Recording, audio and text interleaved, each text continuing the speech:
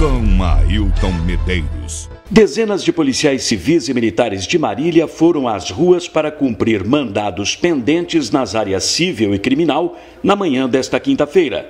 A mesma operação se repetiu em Bauru, com cerca de 400 mandados para serem cumpridos, e nas demais cidades do estado.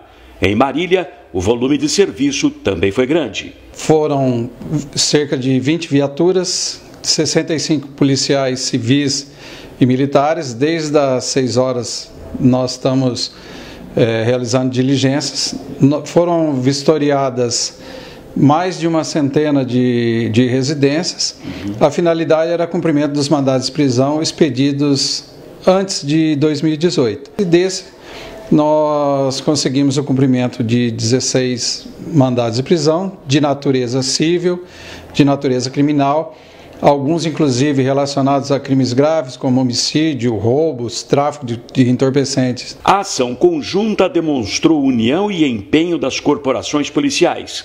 Em Marília, o caso mais expressivo foi a prisão de um condenado por homicídio praticado na região.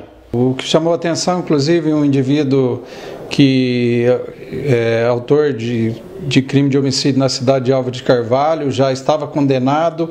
É, um fato ocorrido em 2010 e com essa informação que ele estava aqui em Marília, é, acabou sendo localizado e dessa forma cumprirá sua pena.